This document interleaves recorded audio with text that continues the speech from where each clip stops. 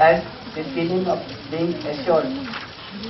And this being assured takes place when I have the clarity that the other wants to make me happy and successful. Now we are trying to examine whether this is true or not true. So we wrote down these four statements about the natural acceptance of every human being. Then we wrote down these four you know, statements about the competence of each one of us. So first I asked this question of you know, natural acceptance. I want to make myself happy and I want to make the other happy. Is it my natural acceptance?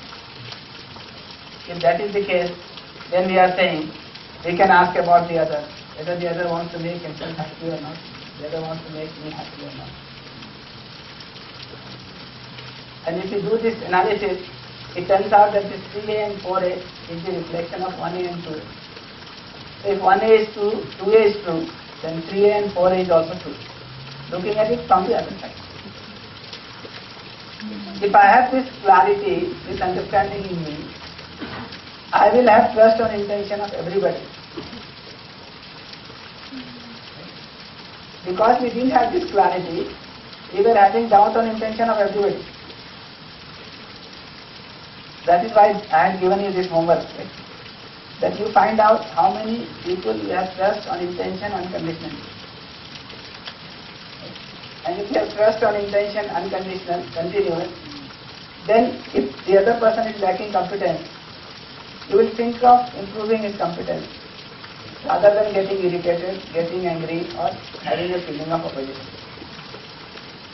So most of you found out right, that if this is the qualifying condition, that if you have trust on intention continuously, then you never get irritated, you never get angry on individual, or you have a feeling of opposition. Then you will be difficult to find out one person. But on the other hand, if I have this understanding, right, of 1A and 2A, and if I can see that 3A and 4A is the reflection of this 1A and 2A, then I will have trust on intention of everybody. You can see that shift from having trust on intention, right, continuously on nobody. You can shift to the trust on intention, unconditional on everybody. But then it will not mean that you take everybody for granted. It means when I am to make a program with him, right, I will evaluate my competence, I will evaluate his competence. And on the basis of this, I will make a with. And I exemplified it with you know, our conduction of the workshop. Every time I am evaluating my competence, I am evaluating your competence. And on the basis of that, I am trying to work out this program.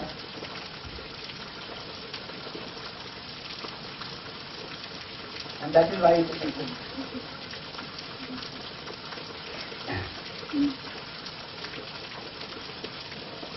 So this is about the trust on trust on intention and the competence. And I said this is the foundation value because if there is any crack on this, in this trust on intention, then we are in trouble. Then the whole relationship is shaky. Right? And this crack may end up in any explosion. And that is what is happening. The very trust on intention is violated. That example I was taking yesterday. That we start with the commitment to live together for lifetime. And a year or two, right? We start getting divorced. What does it mean? Is it a problem of confidence? Or it a problem of doubt on the intention itself?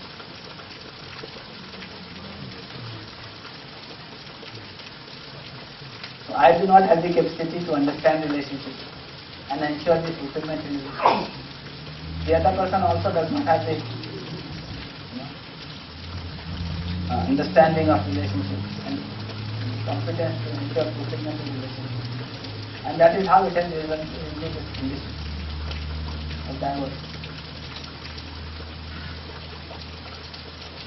and it all starts with this doubt and intention. If there is doubt on an intention, then this lack of competence starts precipitating the whole thing. Right? And after some time, you feel that it just seems already So you start feeling irritated before the other person says something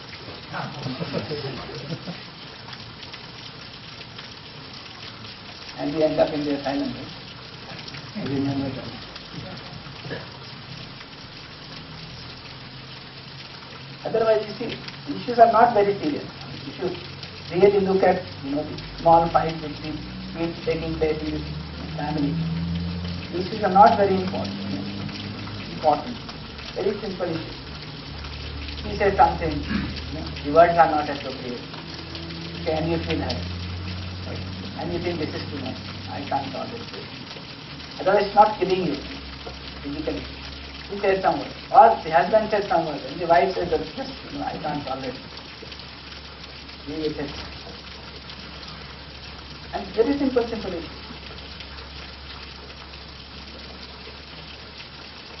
If there was no doubt on intention, they could be very simply resolved. Right? But if there is doubt on intention, then you know any small thing.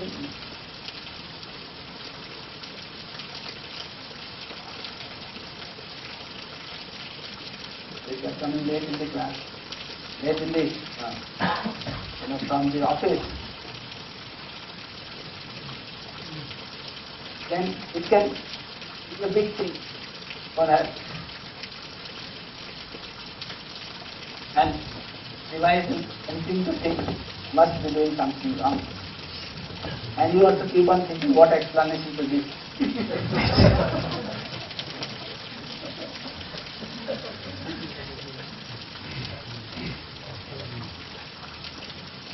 all kinds of things. You know, if you start looking at all this, you know, you will realize that moment there is a doubt on intention, you know, your life becomes hell in the way. So that is what I will leave you. And we want this issue of respect. Unless there is some question on this. We talk about the second feeling, which is feeling of respect. Mm-hmm.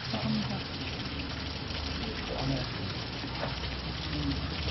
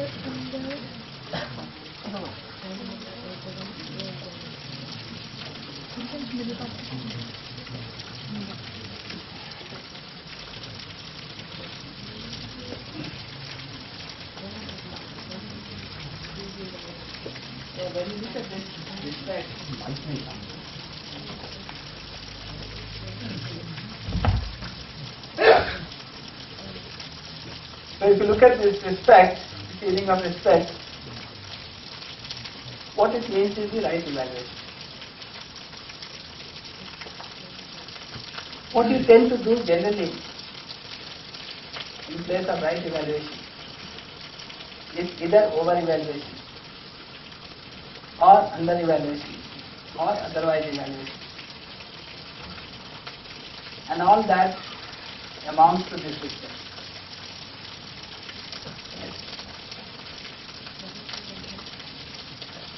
Over evaluation or under evaluation or otherwise evaluation.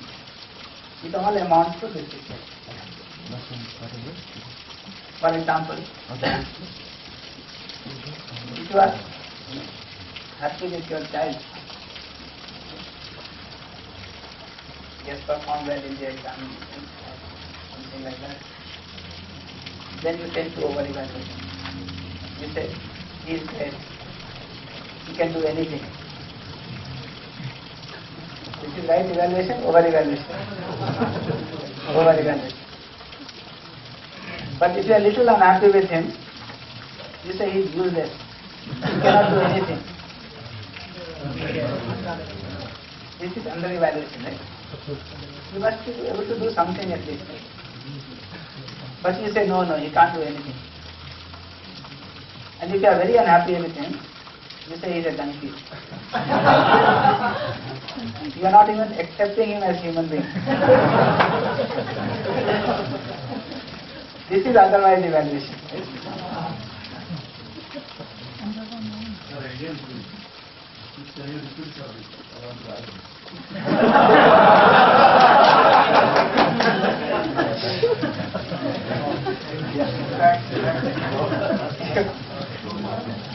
if I say, if I say you will not understand anything, it is under evaluation. I was saying that if you get, if you are little happy with the child, you tend to over evaluate. You say that this child is great, he can do anything. This is over evaluation. If you are little unhappy, right, you will say he is useless. He cannot do anything. You are very with him, you say he is donkey. That means when you are saying useless, you are at least accepting him to be a human being, right? No useless. when you are saying donkey, you are not even accepting him to be a human being. this is otherwise evaluation. And you can see in your day-to-day transaction, right? This is what you tend to do. I will cite a few examples. I was going with one of my friends in a motorcycle and he was saying something about him. And at one point he said, Sir, I can do anything. So great. So I asked him to stop the motorcycle.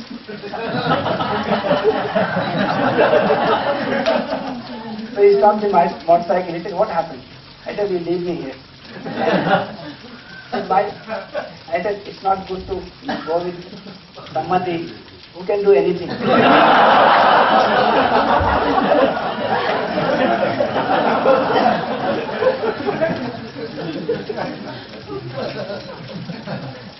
now he's not even aware what he's saying. Right? that is how you tend to over-evaluate yourself or you know, over-evaluate someone with whom you are little happy. I, I, I went to another you know, friend of mine to his house and for some reason his wife was very unhappy with his girl. So he was, she was saying, this Buria, she doesn't do anything. So I said, she must be doing something.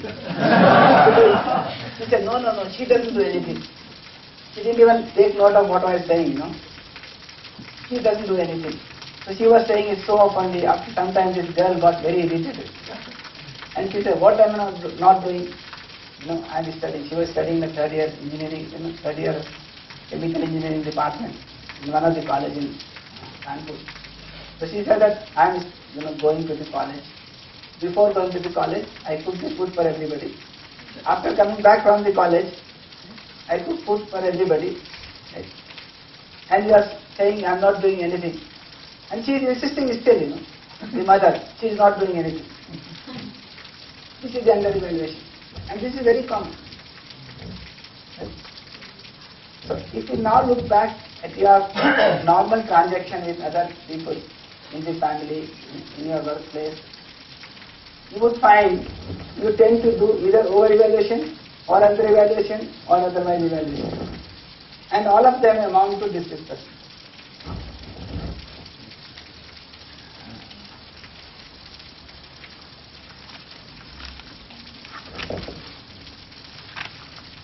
I tell you, you really become watchful of this, okay, it will be difficult for you to utter a word. because every time you are saying something, okay, it turns out to be this instead of this. Now you are doing it because you are not, you know, aware of it. Now you become aware of it, it becomes really difficult. But uh, one thing that uh, at times we have to encourage some students or because of a member in the family, at that time also that, that is also overusage. Yeah, it is overvaluation and it starts creating problems. In fact, if you tell this to the child, you know, that he can do anything, right? he becomes comfortable or uncomfortable. Anything we of course will be indefinite, but uh, let us say some, some uh, child is coming second division, then we, we, we say that you can, uh, with hard work you can be even first division. Yeah, but that is not over-evaluation. With hard work, anybody can come first.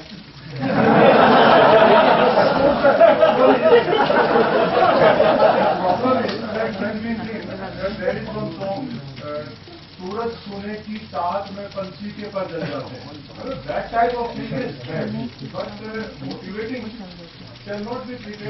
a kind of overview Yeah, so this motivating, I will have to make this you know, clarity in myself that when I am motivating someone, am I doing the over evaluation or the right evaluation?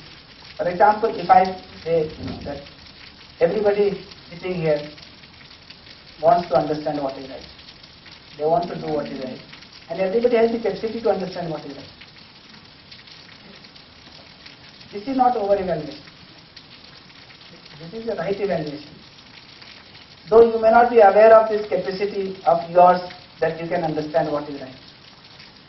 If I am aware of this capacity and if I am making it as a statement for you, this is not over evaluation. This is the right evaluation, but it is certainly motivating you in the fact that yes, each one of you sitting here, irregard of your qualification, has the capacity to understand what is right. Similarly, if I am saying to children, to child, that if you start paying attention in the class, you can you can understand everything that is being taught in the class. If you understand everything, you can write it in the examination and come first. So he may be coming last. This is not the over evaluation. So this I have to keep, you know, uh, very clear in my mind. Like when we talk about this uh, now in more detail, we will see that the minimum content of respect for a human being would be that you are like me. Now you are like me. This is in one way you know, a lot of you know motivation for everybody. If I can understand something, you can also understand it.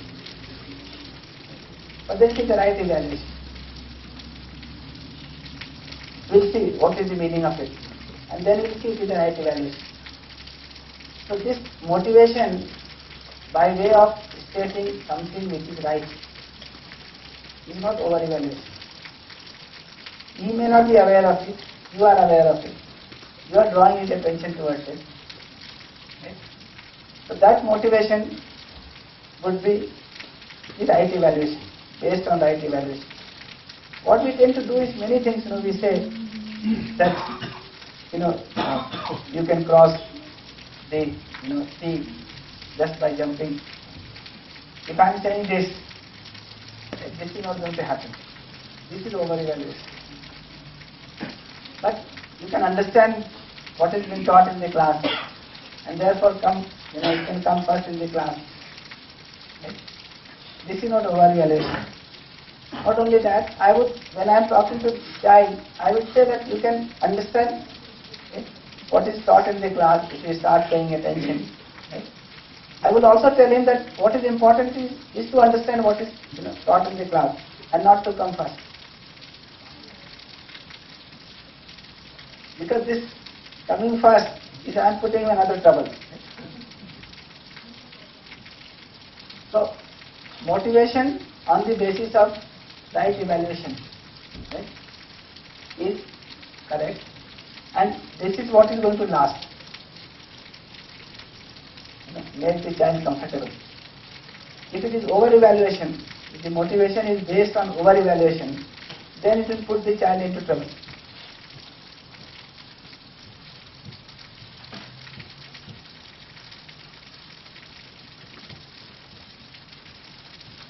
So now you will have to start looking at every statement that you are making in your relationship with others. Whether it is right evaluation or over evaluation, under evaluation, otherwise evaluation. And very So that evaluation, it is very, like, you know, the, now subjective. Like, so, is there any way to make it more quantifiable? Yes, yes, this is what we are doing. We are making all subjective things objective. that is the beauty of what we are talking, you know. As I mentioned, that all this process of exploration is very subjective. But the result that we get out of this subjective, you know, exploration, they turn out to be objective. So we'll see that. When you make a subjective evaluation, you know, right evaluation of human being, how would it look like? Okay? Is that going to be objective? That's essentially we are going to do that. So let me do it. You know. That respect for the human being.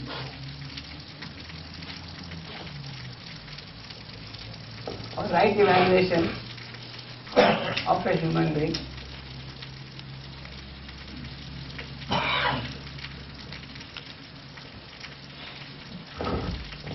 First question is to ask is whether you will do this evaluation on the basis of self or on the basis of the body.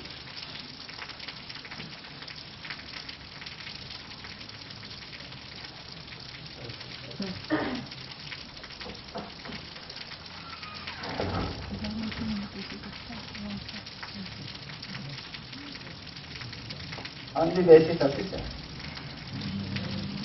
If you do this evaluation on the basis of self, right, then we can get very objective result. Okay. What is that objective result? I will write it down.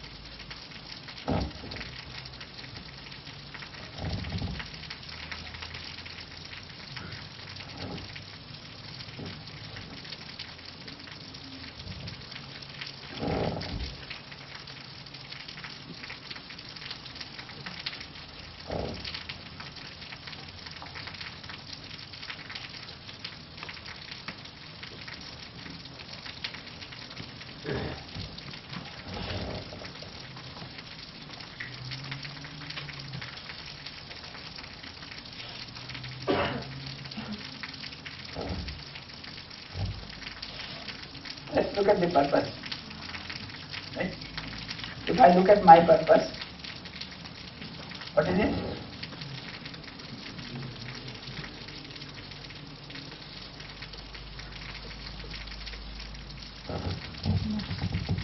Right? Happiness, prosperity, and its continuity. Right?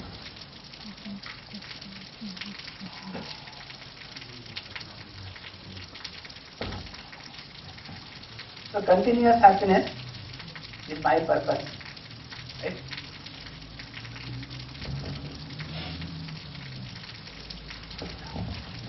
My purpose and the purpose of the other. Is it different or same? Same. Same.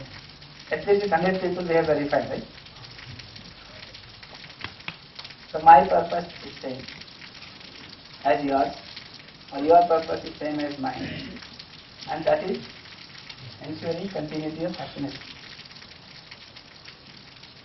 Okay? True? Not true? Second, program of action.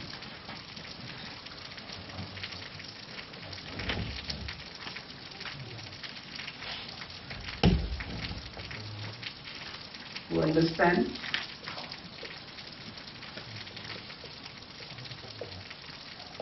and live in harmony.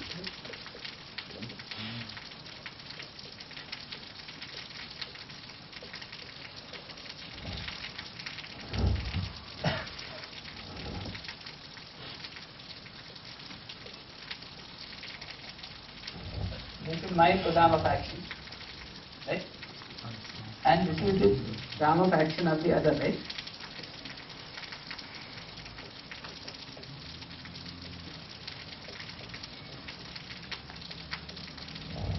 What is difference? Same. If you have the right understanding, it is same. Otherwise, everybody has his own program of action. Everybody has his own purpose.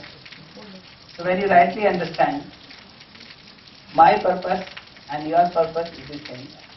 My program of action and your program of action is also same. The third is regarding the potential.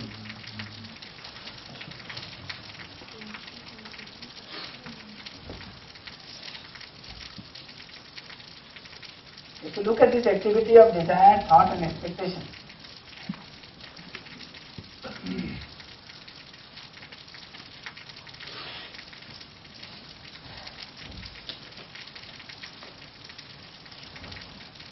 you don't rub it, I will write in the black pen.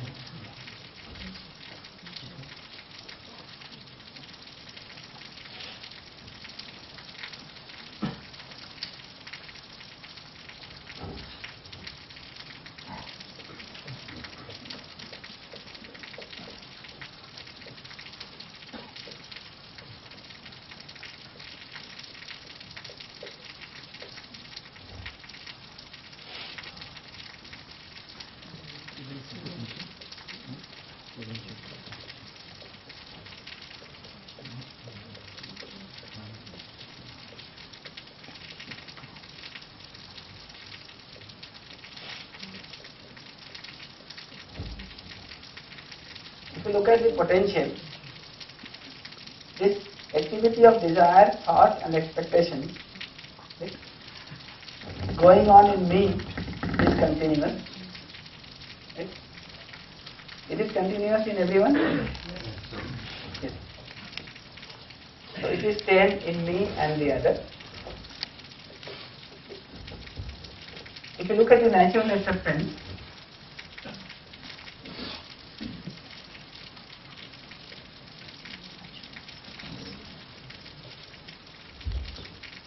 This is also same in all of us.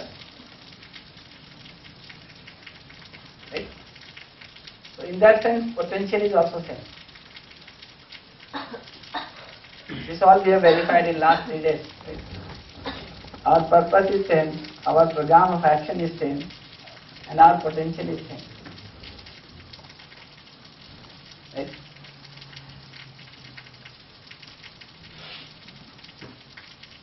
Right? In that sense, if I put them these three together, the conclusion of this will be the other is like me.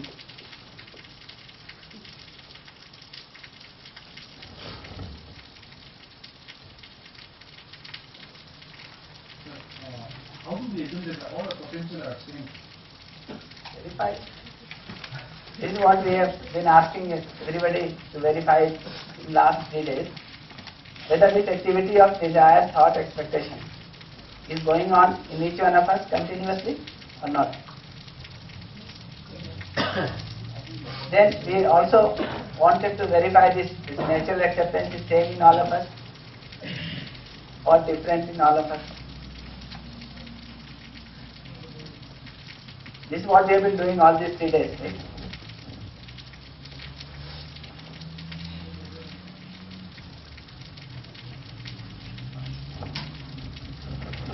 This is what we are trying to do. And the outcome of this